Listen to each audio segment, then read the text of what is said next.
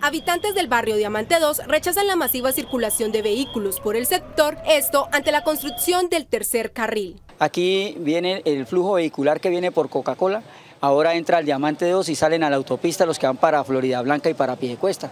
Ahora estamos recibiendo el flujo vehicular del cacique de la carrera 33 en nuestro barrio.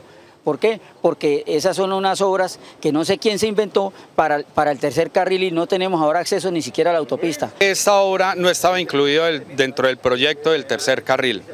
Sencillamente eh, eh, queremos es eso, que no entre el flujo vehicular, que manden todo el flujo vehicular directamente a la autopista, porque entonces ¿qué sentido tiene la obra del tercer carril? Esa es nuestra gran pregunta y nuestro gran, nuestra gran incógnita.